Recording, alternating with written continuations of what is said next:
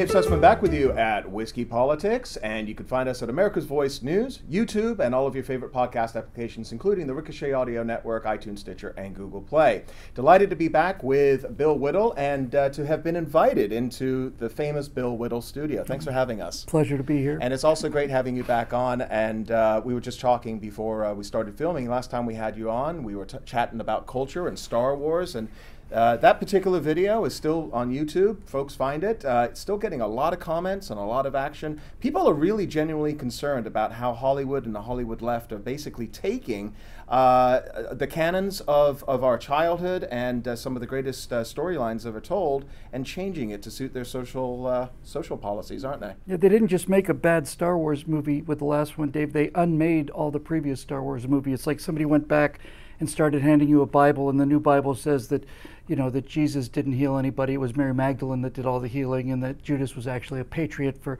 for bringing an end to this conflict. That kind of thing. When yeah. they're they're rewriting the entire essence of it, and since we spoke last, it's just been again and again and again.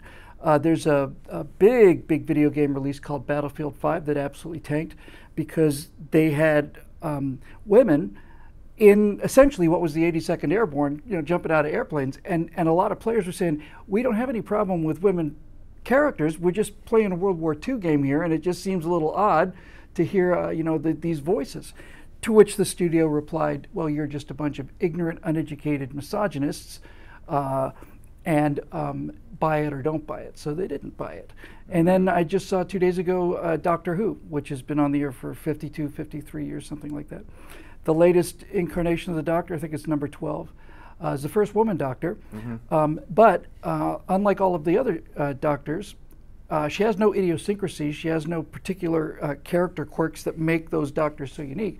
She's a female, and her entire uh, character quirk is to is to basically spout feminist ideology and and and constantly just have a chance to tell men how stupid they are, which also the fans are not too fond of. So you know, and this goes back to that last uh, episode where we had you on. The decisions that are being made right now in corporate Hollywood, mm-hmm. in those boardrooms, yep. they believe that these are the right decisions, not just for their bottom line, but for society. But the audience is saying something else, aren't they? They're fighting back. What about the Gillette ad? Okay, so Gillette comes out with an ad that basically says. Um, basically, in a nutshell, it says, you know, we're the we're the razor of a new kind of man. Uh, mm-hmm. Uh, not that old toxic masculinity, you know, that, that everybody's so so right uh, rightly, you know, um, disgusted with.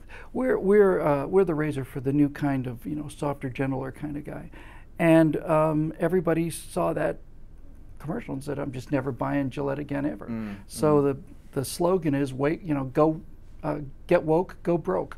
And somebody's telling these companies that this is going to be good for them, but it's an easy sell because this is what they want to hear. It's certainly what the movie studios want to hear. They want to hear we need more left wing content, we need more progressive content.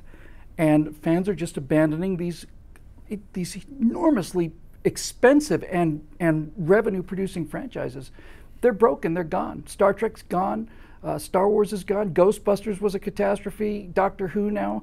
Most of the video games, I saw the trailers for upcoming video games. They're all first person shooters. And a female character was the lead in every single one of them, out there, you know, in the mud. And, mm-hmm.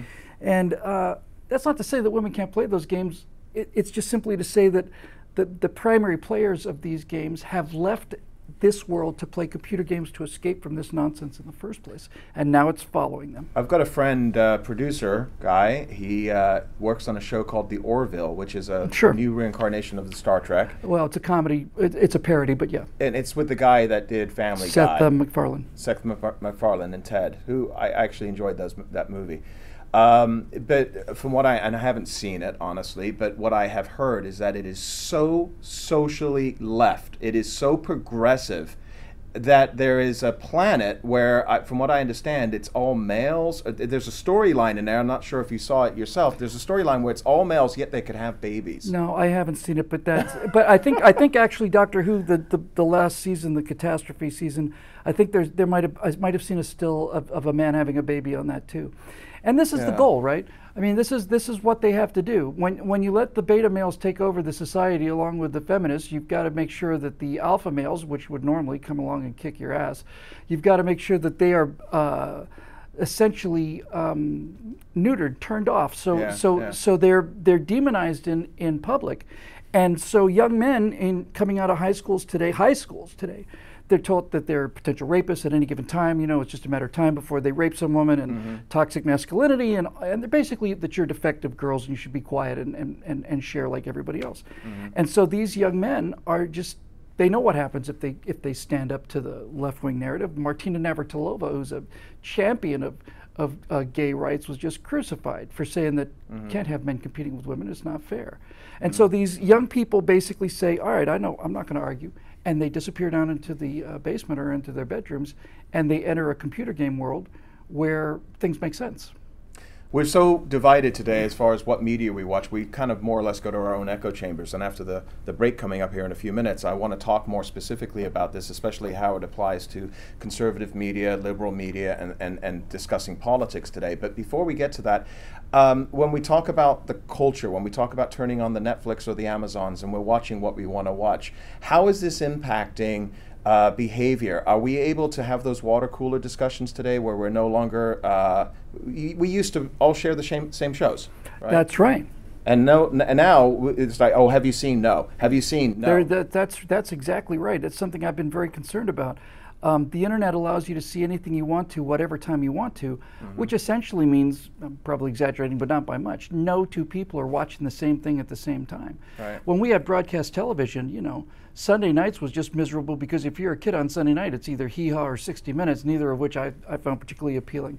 but we all watched Gilligan's Island, and we all watched Star Right. Trek, and we all watched I Dream of Jeannie, and we all watched um, Beverly Hillbillies, and all of these shows. Yeah. And they have uh, kind of they have the same kind of binding quality that any mythology has. It, it, it keeps everybody in the culture on the same kind of cultural page. Uh, so not only is, is the culture turning far more left, but it's becoming so fragmentary that no two people are sharing the same experiences anymore. Yeah. And since entertainment is hypnosis, you basically are now in a situation where uh, people are getting an extremely negative uh, hypnotic message implanted in their heads. No one is sharing that message.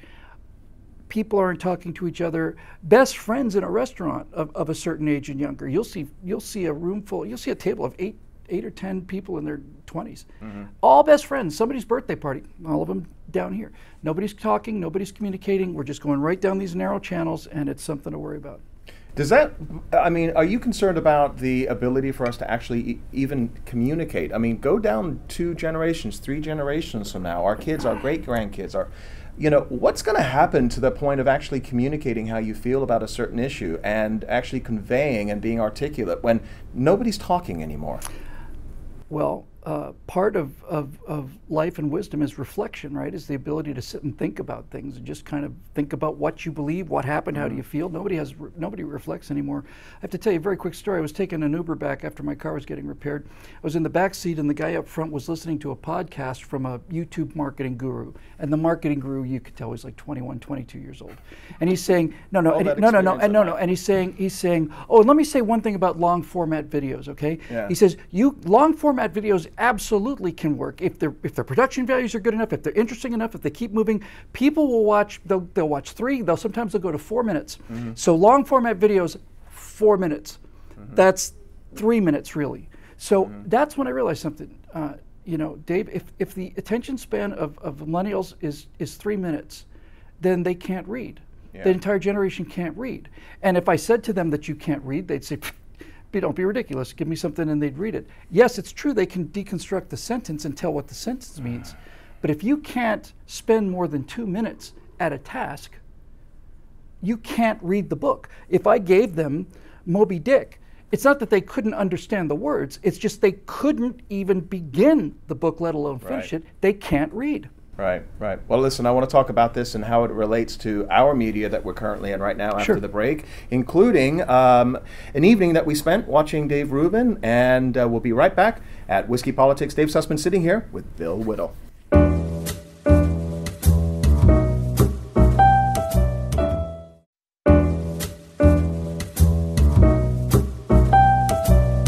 Dave Sussman back with you at Whiskey Politics.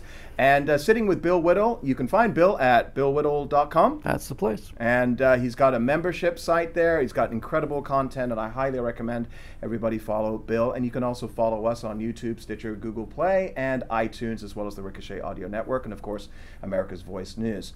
Uh, last time we saw each other a couple of months ago, we went out. We had a great evening with some friends, and uh, we watched uh, Dave Rubin, who most uh, people watching us also know. And uh, he did uh, an evening where he talked on stage. It was labeled stand up, but it was more, you know, philosophical and socio- sociology discussions about what's going on in the media. And he had a couple of guests on, the Weinstein brothers. Um, it was interesting because I thought, uh, whatever your opinions are of Dave Rubin and the Weinsteins, uh, the intellectual dark web, and all of that, that's not what this question is about. It's more about the discussion that came out from that evening, and that is that you've got people on the left and you've got people on the right that are talking today, and they're talking in an environment where um, it, I almost feel as if they are cocooning certain elements of conservatism, and this is conservatism we can accept here, and conservatism we can't accept there. Uh, classic liberalism belongs in this block over here. And I felt that uh, it was more divisive than anything because we're at a stage right now, and, and tell me if I'm wrong here, Bill. I know you've spoken about this before. We're not able to talk to each other anymore. And the left and the right, one thing, but now we've got these divisions or subdivisions, if you're a Rush listener, uh, to, to, to conservatism. And it's splitting us apart.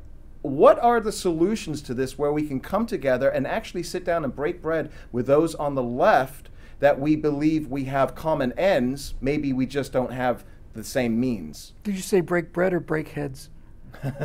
Um, I, yeah. Um, so look, I, I agree with you completely, and I think I think it's tearing the country apart. And and it, it, I'm reluctant to begin with a talk about how to bring people together with with an observation about something that's a little divisive. But I think it has to be said yeah. in order to solve the problem.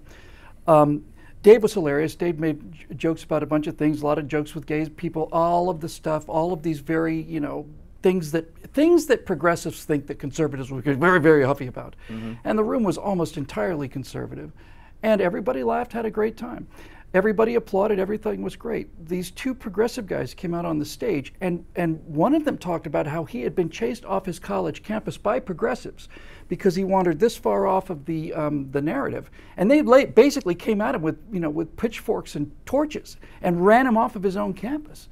And we all know that when Ben Shapiro or Milo or anybody else tries to speak at a, at a college university, there are protests, there are shouting matches, they burn the buildings down in some cases. So we know what happens to conservative speakers in front of progressive audiences. But I did a piece on this called Asymmetrical Civility because I don't think I've ever been more proud of being a conservative in my life. This room was filled with conservatives, and liberals uh, were, were making the most progressive statements that you can imagine. And, and, and the conservatives in the audience were sitting there listening quietly and respectfully. And after every single thing they said, there was a, a polite round of applause. You know, there was no catcalling, there was no, there was no jeering. It was, it was respectful and decent. And I said to them, don't you see the difference here? We, we can't go and have this conversation at Berkeley, but you can have this conversation here. Don't you find that odd? Don't you find that interesting, something remarkable? So look, I, I, don't want to start this whole thing off by saying, well, they're you know they're they're just a lot meaner than we are, but they're just a lot meaner than we are, and and I suspect this is due to the fact that we have to that we're exposed to the the left wing story all the time, every day, all day, every day. That's all we get through the news media and the pop cultures and TV shows and so on. I think when they hear uh, a contrary opinion, it causes them a lot greater stress. And I think if you don't recognize that, you're probably not going to be off to a good start. So uh, let's put that to the side a minute mm-hmm. because we are talking about how to sit down and right. and and as I said, break bread, not heads, with, with those that uh, completely disagree with us. I'm going to take the margins out of this equation here. Sure. The 10% couldn't, couldn't agree side. more. Absolutely. Yeah, that's pointless to argue okay, because we're at a point, and I want to talk about this with you later in the interview. We're at a point right now where these are the people that are creating their news being upfed through Twitter. Right. Okay, dismiss those. We're let's say 80%, 40% on either side of the aisle. Okay, are more thought they are uh, they they have uh, a lot of similarities. We want some of the same things. We want some different things. Okay. uh, when we're sitting down and we have a situation where, and I, I, I, the reason that I brought this up was because I enjoyed that evening, and like you said, Dave Rubin, and you've been on his show, okay? Uh, the, the, the, the discussion was really geared towards um, conservatism and where it's going wrong, right? From the Weinstein brothers that I thought were, were they had a lot to say. They are very uh, smart, intelligent people. But the intellectuals, the intellectuals are now, if you are not of a certain, I'll give you a quick example here. Um, some of the folks that came out against the Covington story immediately were on the right. Okay? They came out against the kid right? And they said, oh, this is insane. Uh, if you're wearing a MAGA hat, you're a racist. And they're really being fed into uh, this wood chipper that has been set up by the left, right? And, and we can stand back and we can say, hold on a minute. No, first of all, I, I may not be an quote unquote intellectual, but I believe that there is two sides to every coin here. Let's take a breath, right? And going back to that evening here, I think that when we have a discussion with those on the right, and if you consider yourself one of the right, um, where does that where does that discussion allow us to find common ground? You may not like this president, you may like his policies, mm-hmm. but you are automatically dismissed as a MAGA pro-Trump wearing, you know, almost racist. Maybe you're not racist, but you certainly align oh, yourself with them. Anybody who voted for Trump is racist, according to most progressives. So what do we do about that? Is that is that basically the question? Um, you know, I think, I think a couple things. When I did a uh, Dave Rubin's interview, I said, you know, Dave, we both come from pretty different backgrounds, and we're able to talk to each other. And I have no doubt whatsoever that if we were to take 10 of my followers and 10 of your followers, and 22 of us go into a room someplace, we could come out with a political platform in an hour that 85% of the American people would would enthusiastically vote for. Agreed. Absolutely no question about it. There's no question about it. Um, so if it were up to me, uh, the first thing I would do is I would I would have people come out uh, in a in a panel, and I'd have them all shake hands. That's the first thing I would do. I have them shake hands and shake hands and smile and say, "Hey, you know, we're here for the same reason. We love this country. We want it. We want it to be a place where everybody's happy. I want people to be happy. You want people to be happy. And I think there's only two rules that we would have. The first rule would be to the best of our ability. It would take a while because of just so many habits, but to the best of our ability, we're not going to use the word Republican, Democrat, conservative, liberal, progressive libertarian. We're not going to use those words. We're just going to, if they come up, we're just going to, sorry, and we're just going to put them aside and start dealing with issues and, and ideas. That's the, that's the first thing I would do. And I, I think the second thing that I would do is I would, I would make this about, oh, when I say make it about what people want, I think the second rule and the most important rule, and the only rule I would ever insist on in a debate of any kind with anybody is you can tell me what you think, but you don't get to tell me what I think. If I tell you something, you don't have the right to say, no, that's not what you think. In other words, if I tell you that I want to see every American happy, and that I think black people, Mex- Mexicans, Hispanics, the whole thing, I think the whole dividing of the country up into tribes is a catastrophe. This is a nation of individuals. You don't get to say to me, no, that's not what you really think. What you really think is you're a racist and you want to see people put back on plantations. So if you have those two rules, you know, civility, uh, let's get rid of these of these uh, terms that are so entrenching now. You know, it, oh, okay, so conservatives are this, well then liberals are that. Just we're going to put those terms away. Start dealing with the issues. But but basically, the, the main thing is, if you want to have a discussion about something, I'm telling you the truth, and you don't get to tell me I'm lying. I've said things, uh, you know, where people have said to me, well, you're really a racist. I said, I've just spent the last two hours talking about individuality, and I'm talking about the antithesis of racism. And they say, yeah, you're just trying to cover it up. Mm-hmm. Cover what up? So you're saying my entire career is based on covering up what I really believe so I don't get in trouble with you guys who hate me anyway? It's just insane. You don't get to tell me how I think. And I think if you did those two things, you'd be well on your way. So Take away the assumptions, take away the labels. Mm-hmm. And now we can talk. And we can talk. I think that's brilliant. Oh, it's a good start. I know, I do. And I think that what we're looking at here is a way for us to. Con- uh, I mean, we're, we're not the extreme. Okay, we want oh, we all want the same things, and I think that if we're able to sit down and uh, have this dialogue with each other, I think there's a lot of people that are going to be able to come to the table and say, okay, let's figure out the solution. We're going to take another quick break, and we're going to come back, and I want to talk a little bit now about politics. Sure. And uh, when we get back, we're going to talk about the wall and obviously what just happened with the shutdown. We'll be right back. Bill Whittle, David Sussman here with Whiskey Politics.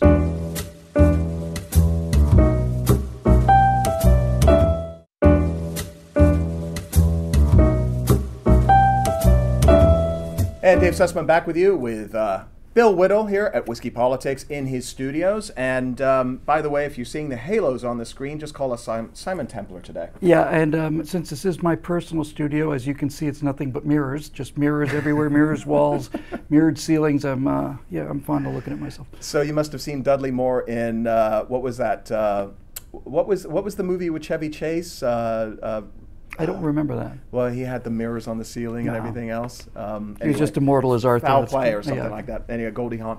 All right. Um, so we just came off of one of the most divisive periods in American history in relation to the president and Congress, and we're referring to the government shutdown. Uh, it was shut down for, for over a month. Uh, they say something along the lines of 800,000 people went to forego their paychecks. There was a lot of misery in the mainstream news. Uh, and my heart goes out to those individuals. Me too.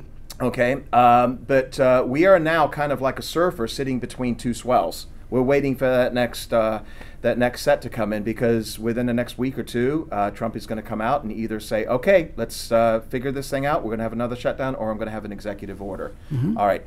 What are we looking at right now as far as the politics of this, as far as the uh, financial aspect of this, and its impact on the discussion of the wall at the border? I think we are living in a post-government America. I don't think this is a government anymore, and I don't think it has been a real functioning government for a long time. Um, one of the fundamental, absolutely base things that, that the legislature is supposed to do, forget about all of their agendas and all of the laws they want to write. Their, their, their primary function is to uh, approve or, or uh, you know, reject the president's budget. And under Barack Obama, we went six years without a budget. There was no budget in the United States for six years. Nothing came out of the Senate, nothing. And what that means is, is that it is so broken. I talked to an admiral down in um, San Diego. He said, we have an enormous problem where we can't get our ships repaired and maintenance done on them because we went to private contractors and now I go to a private contractor and I say I've got this this aircraft carrier that needs refurbishing. It's a you know it's an eighty million dollar job or whatever the number is, and he says the contractor cannot hire the people he needs to hire because I can't sign a contract saying that this is a two year job. I'm not. I don't know where the money's going to be in six months. I don't have a budget from the from the government. And so I have to I have to try and repair my ships in, in six month increments depending on how much money gets allocated. So i it's not functioning. Um, and and I think t- to some degree, while I completely agree with you about the individuals, m- most of the individuals that work in government are fine people and, and they're, they're trying to do their best. And I've had good experiences with many of them. So I'm not talking about them, but government as an idea is, um, is just plain, it doesn't work. And it doesn't work because it doesn't work in the, in, in the case of many cases where the government is essentially a company that's being run by its own employees. And there is no back and forth between the government. There is no force saying you should spend less. No one is saying you should spend less. No one in the government is saying. Only candidates. Candidates will say it, and then they'll go out there and they'll proceed to, to, to spend Right. more. And and unlike a private company, if, if the United States, you know, currently 25 trillion dollars in deficit plus 200 trillion, and we could say 200 trillion or 25 trillion, nobody has any idea how much money that is. The current amount of money that we owe, somebody did a graphic on. If you take flat $100 bills and you make them into the size of the World Trade Center, I think we owe 23 of those mm-hmm. made out of $100 bills. That's what we owe. And it, and it gets bigger every day. So if this was a company, we would have been bankrupt a long time ago, and that would have been good, because if the if it had been a company that could have gone out of business, then the crummy management would have been chucked out the window, and, and we would have looked for people who would manage the money responsibly, save a little bit, you know, uh, get the best value for what you spend, but the money doesn't belong to anybody, so it ca- a- and when you run out, you can just print some more. So it, it's not a government. And and the thing I, when I first started getting this idea, we were talking about this idea of non-discretionary spending. For example, uh, Social Security or Medicaid. Let's take Medicaid. It's 230 billion, somewhere in that ballpark. Mm-hmm. They can't cut that number. The Congress does not have the power to reduce that number. Mm-hmm. So if the government doesn't have the ability to change how we spend $230,000 million, then it's not really a government, is it? It's a thing. It, it's a thing that is moving out of control and accelerating, and nobody can stop it. And if you tell me that you are, as an elected, as an elected representative of the U.S. Congress with legislative powers for the budget of this United States, and you're telling me that we can't change that number, we can't cut it, then I'm telling you, you're somebody somewhere is in serious violation of their constitutional oath. You're not a government, and this isn't a government. This is this is a thing that is moving and unstoppable. So you have this this unstoppable train, if you will. Yep. Okay, and it sounds to me like that whether you're a candidate and you get elected, you become a congressperson, you're a senator, or even a president, and as far as citizens go, everybody is just a passenger on this unmovable uh, this this force that is unstoppable. The conductors are passengers. The engineers are passengers. The passengers have always been passengers, but now the engineers are passenger if he sees that we're heading up to a steep cliff, the elected officials. If we, if, yeah, I'm, I'm, talking about the entire yes, yeah. the entire people we elect to run the government. Mm-hmm. If he sees that we're heading for a hairpin turn, or if he sees that the bridge is out, he cannot stop the machine. So he's not in control of it either. It's not a government if it can't control. If if they if the government says as they always do, we can't touch that money. Well, who, what do you mean you can't touch it? Mm-hmm. Well, we promised it to people. Well you know, maybe you can't make promises like that. You know, who controls two, you know, two hundred and thirty thousand million dollars for Medicare? Can't touch it. Really? Mm-hmm. Doesn't that concern you? That is an engineer and a, who is looking at at in upcoming catastrophe, knows we're getting closer, and he not only cannot stop the train, if he tries to slow it down, he's going to have the door, you know, knocked down and be beaten to death by half of the passengers. Is one solution, it won't solve the whole thing, but one solution to this term limits? Well, if you had, my solution would be term limits with one term. But then I realized that even, even that's not going to do it. Politicians have been despised by every culture throughout history. It's never been different. There's never been uh, a culture where the common people really looked up to their politicians as a general rule. And the reason I think is because there's a certain kind of person that goes into politics. And that's the kind of person that, that understands that on some level, it's easier to shake hands, knock on doors, get elected, and then have all the trappings of, of wealth and power and prestige than it is to go out and actually earn it. And so the people that go into politics are people who have who are wired to want to tell other people what to do. And the only people that could stop them are people who don't want to tell other people what to do. And getting people like that to go into Washington and tell the people who are telling other people what to do to stop doing that, it's virtually impossible. So the left, the best minds in the left go into politics. And in, on the right, the best minds go into business and the military. And, and, and it's an almost impossible thing to say that I want you to elect me to go to Washington so that I will have less power and less money to spend than, than we did when I got there. Gotcha. I think one of the greatest things that we're seeing right now is that uh, we are having this discussion. And uh, listen, whatever your opinion is of Donald Trump, uh-huh. okay, hate him, love him, support him, don't like him but support his issues, whatever, wherever you fall, you have to admit that uh, the the uh, the powers that be hate this. They hate somebody coming in, bull in china shop, basically cracking everything that they created over the past 50 years. Now you're on the main vein. Right. This is it. This is it exactly. Um, the left sees uh, Donald Trump as as vulgar, uncouth, crass, you know, stupid, mm-hmm. liar, and in general terms, the right says, well, maybe that that, that probably is all true. Um, but we don't care. Mm-hmm. Uh, we don't care because the 2016 election was all the evidence we ever needed that the American people made the wrong choice, according to the people in Washington, that, that the American people made a mistake. And the American people will never be allowed to make a mistake like that again, which is why you suppress all half of these, you know, conservative uh, outlets are all being suppressed.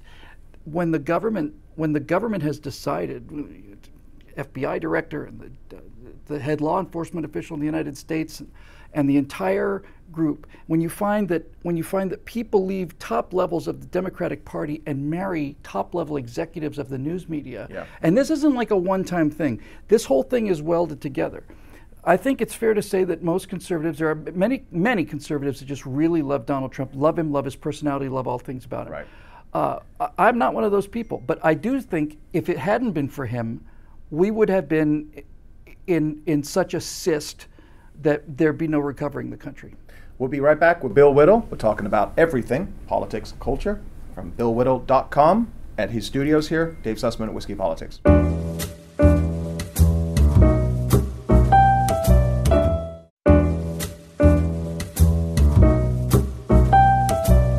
Welcome back, Dave Sussman here with Bill Whittle, and a couple of other issues that I want to talk with you here in this last segment. Uh, first of all, finishing up what you were just talking about regarding how Donald Trump is a threat to the powers that be, both left and right. Is that something that you feel with the election now in full swing, with all of these Democrats throwing their hat in the ring, is still going to be a main motivator for him in 2020? For Trump, For Trump, for his base, and for, for others? Well, needless to say, the, uh, the, the, the base, it's a strange thing, you know. I think the people that were the most fervently pro, pro-Trump, uh, Ann Coulter, for example, Mm-hmm. are terribly, terribly disappointed uh, by the failure to make any action on the wall. And she certainly makes that. Uh, abundant, abundantly clear. And paradoxically, I think the people who were um, a little more tepid about Donald Trump are more impressed than they than they thought they would be, not by his character or by his um, elocution or by his manners, but impressed by the fact that. Okay, you know, on the second day in office, he drops the largest non-nuclear weapon in the arsenal on ISIS, and you don't hear about ISIS murdering anybody anymore because we go out and kill ISIS now. I wanted I I wanted to ask you about this in this segment, so, this is a good segue. So let me just, I'll Yeah, just, I'll just kind of continue the. The role here. So just now, we just earlier this morning got these figures. So the government's been shut down for 30 days. And according to the people who believe that the government is the society, that everything is, should be run by the government, Mm-hmm. this should have caused a collapse. But as it turns out, they were expecting 176,000 new jobs. They got 203,000 new jobs. There were more new jobs created when the government shut down than they expected there to be. And and so when you get into these kind of things, you know, if you just look at if you were to take Barack Obama's record and Donald Trump's record and completely invert them, they'd be building golden statues to to uh, Barack Obama, Donald Trump now. You know, Barack Obama's best year was what 0.9 percent economic growth, and we have 4.5, something like that.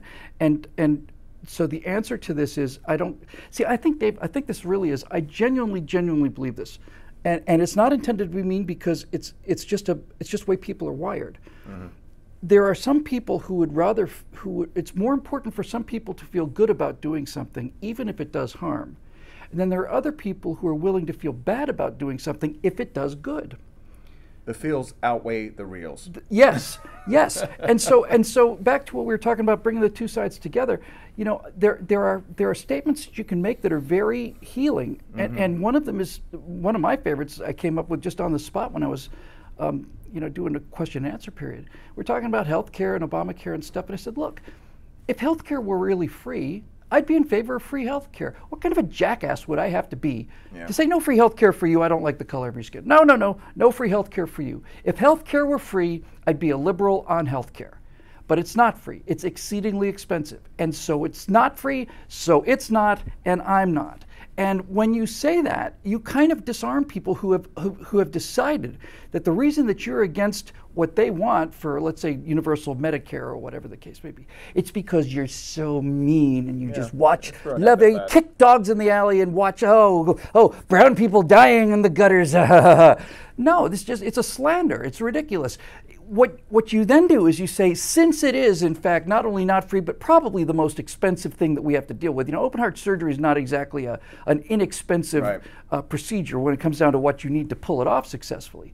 Since you're talking about something that costs not only money but a lot of money, we want to talk about what is the best way to get this done so that everybody can have health care, Okay, but so but but on, on some kind of form that makes sense. okay, 2010, 2012, 2014, 2016. Elect Congress, elect a Senate. Mm-hmm. Don't start elect a me. president.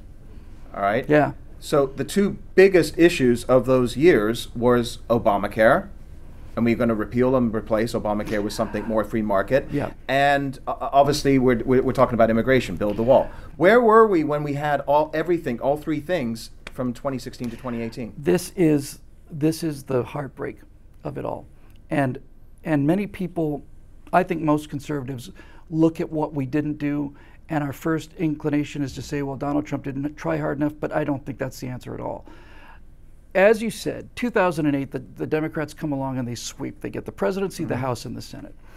In 2009, they, they start this Obamacare thing, ram it down our throats, not a single Republican vote. We have to pass it to see what's in it, the whole nine yards. It's all done with all this legerdemain and, you know, and, and deemed as passed and all this crap.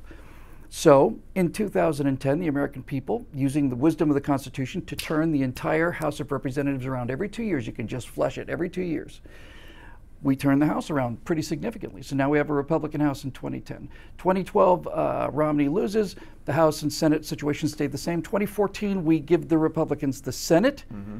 And during that whole time, since the beginning of Obamacare, these representatives, these Republicans have been saying, man, we got the House, we got the Senate. You just give us a president to sign this and we'll get this thing out the door like that. Well, in 2016, we gave them the presidency too. And that's when we found out what they're made out of. In other words, the huge numbers of Republican representatives were saying, oh, yeah, we're 100% for the wall and we are going to repeal Obamacare on day two. And they could say that as long as there was never any chance of it happening. In other words, I can stand up and beat my chest to my conservative uh, uh, you know, base, but I never have to go back and face people on this issue, so I get it both ways. Obamacare stays, and I get to talk about being against it because as long as there's nothing that I can do as long as there's no chance of it happening, even better, as long as there's no chance of me actually voting on this in a meaningful way, then I'm all in favor of, of, of repealing Obamacare. But the second you had a Republican president who would have signed that bill, all of these people went squishy and soft, and, and most of those people are out of office now, and that's a that's a good thing. Okay, it's not a good thing so that we, it, we lost this, the two years. This comes back to the term limits issue then, because if you know that you are, as what the founding fathers determined what politicians should be.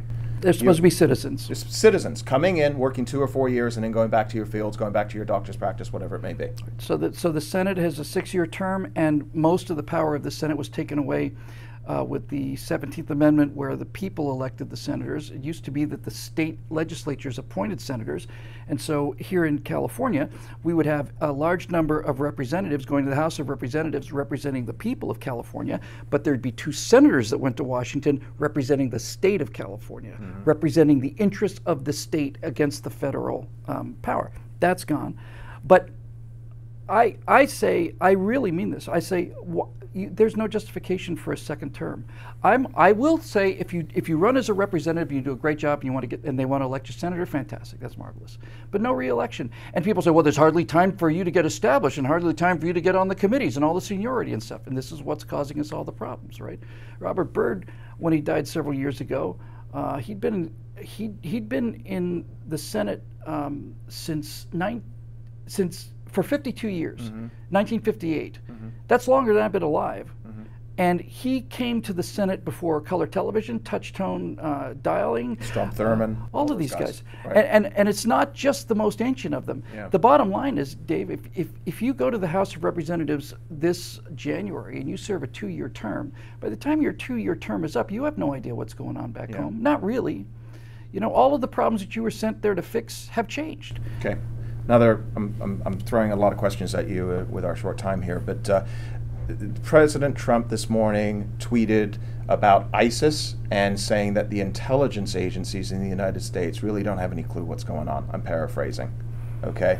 He's picking a fight. Mm-hmm with American intelligence agencies. Now, granted, you can go back to 2002, 2003. You can say that we had the wrong intelligence regarding WMDs. That was on a global situation, not just the United States. It was England, France, and everybody else. What's Trump doing right now? I don't know. Um, uh, this is the thing about Donald Trump.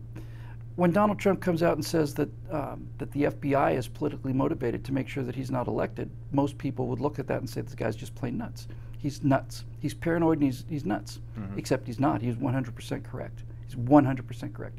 He was being bugged. There were investigations. The director of the FBI and the attorney general were in collusion with Hillary Clinton, out Bill Clinton. This whole deep state thing, I thought, uh, come on. No, it's it's there's no question about it. When you have FBI agents like uh, Strzok saying, "Oh, we're going to save. Don't worry, we'll do whatever we have to do to save the Yeah. American people from Donald Trump," he's right. That's that is a weaponized government that is Right. weaponized against conservatives. Um, but then on the other hand, I thought, you know, I, I said to myself, I have reservations about Donald Trump, but if he, I thought John Mattis was just Phenomenal. enough. We get the Secretary of Defense Mattis, that's good enough for me. So when Mattis resigns, this causes me concerns. It really does. It causes me concerns. But I don't I don't live in the kind of world that that I'd like to live in. Nobody does. This is the entire idea of conservatism as I understand it.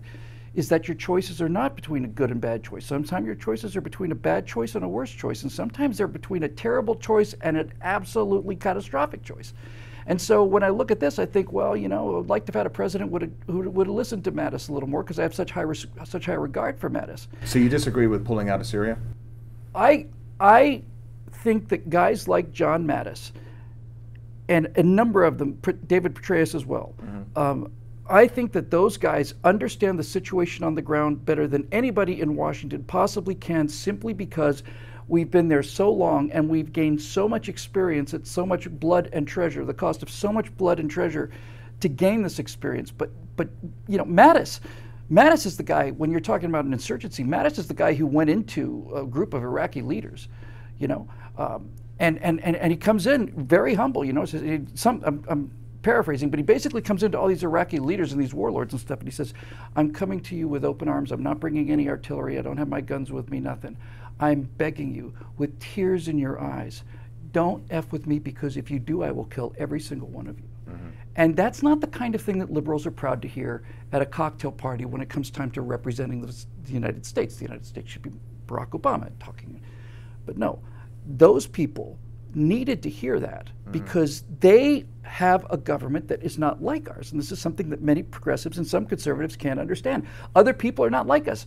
We have trusting relationships. We don't have any bellicosity towards France or Canada or Britain. You know, we have we, we play around, you know, with insults, but but w- I'm not worried about a nuclear attack from Great Britain. and I'm not worried about a nuclear attack from France. Mm. These are civilized Western countries. When you get into a, a dominance-based society rather than a trust-based society, you have to establish that power dynamic. And Mattis went in there and and immediately had, and it was perfect. It's like, I'm not here to fight you. I'm not here to, to tell you what to do. I am begging you. That's an interesting term for a general in charge to use. I'm begging you with tears in my eyes. Yeah, That's an really action. is. It's a statement of great humility, is what it is. Last question for you, because we've got a couple of minutes left here, and I I wanted to discuss with you as far as uh, your perspective of what is happening right now with our media, and if you can encapsulate your thoughts, because I know you can talk for an hour on this issue alone. But uh, in the last couple of minutes that we have here, uh, there seems to be, um, you know, membership sites are down. We're seeing CRTV Yep. and uh, the Blaze. They're they're they're coming Yep. together. Daily Wire seems to be doing okay. They're selling their Liberal Tears mugs okay and their merchandise, but for the most part there's no money in this, and and a lot of people are suffering, and a lot of people are f- trying to figure it all out. What's the landscape looking like to you right now? It's bleak, um, you know, and and uh, before the 2016 election, it was crystal clear to me that the worst thing that could happen to the country would be Hillary Clinton would be elected, and it'd be the best thing that could happen for me personally. Conversely, the best thing that could happen to the country would be Donald Trump would be elected, and that would be the worst thing for me financially. Needless to say, I was very happy with the outcome. You know, I'd much rather be, I'd much rather be, you know, struggling in Donald Trump's America than, you know, making a ton of money in Hillary Clinton's uh, America until the helicopters arrive. So, um, so that's the case. The left understands the power of the pop culture. They understand the power of emotion. And so when you say that the left is putting money into this, it's not that George Soros puts $30 billion into the $30 billion into it, into things like Media Matters. That's trivial. When you take the total value of money spent on all of the education, the total, uh, uh, not education, sorry, entertainment, all of the entertainment, all of the movies, the cost of all of the TV shows, the cost of all of the news programs and everything else, the cost of the atmosphere that we all, or rather the sea that we all swim in, that is an enormously expensive undertaking and they spend it every year. And we try and get money for people to, to sign up as members for $9.95 a month, it's, and it's like pulling teeth. And, and the reason is because conservatives don't, the conservative, generally speaking, understands that, that, that, uh, that things make sense and things work a certain way and some things are unchanging and, and this is how it should be done. And they feel that if you're going to be dealing with, arguing with people, you need to get to them you know, through these facts and figures and logic, and socialism's killed 150 million people. What else do you need to know? You know, Right, that kind of thing. right. But it doesn't work like that. People, nobody, nobody works like that. Everybody votes with their heart. I said earlier, uh, hypnosis. I'll just close with this. Uh, to think about the power that the left has. You ever been hypnotized? I have on stage. Have you? I made a fool out of myself, but I've been hypnotized too. it was in Vegas in the 90s. And for those of you who say you've never been hypnotized, I'm, I'm, I hate to be the person to break this to you, but you and I have been hypnotized hundreds of thousands of times. Sure, sure. And so is everybody watching. Yeah. If I go to a movie theater in Sherman Oaks at six, you know, four o'clock in the afternoon on a Saturday, and I'm sitting there with 400 other Californians in broad daylight outside, and I've got a popcorn and I've got a soda, and I'm sitting next to my wife, and all of a sudden, you know, Freddy Krueger comes out of the dark, you know, Right. and, and, and starts shaking his claws. Everybody leaps out of their seat, and they leap out of the seat because they're not in a theater in Sherman Oaks. They're in that house Yeah. all of their all of their critical facilities have gone down. And so the message comes in and we, we do this willingly. It's called the willing suspension of disbelief. I'm going to believe in freddy krueger for an hour or two just so i can have some fun. But there's no filter there. And so we're constantly trying to get into people's brains. And what we should be doing is trying to get in through their eyes and right into their brainstem right into their heart. And we wonder why you know we wonder why an ideology that has this much failure behind it Yeah. continues to kick our butts. It's because they understand how people work and how they think. And if we don't if we don't make some changes on this right quick, I think we'll be having some bad days up ahead.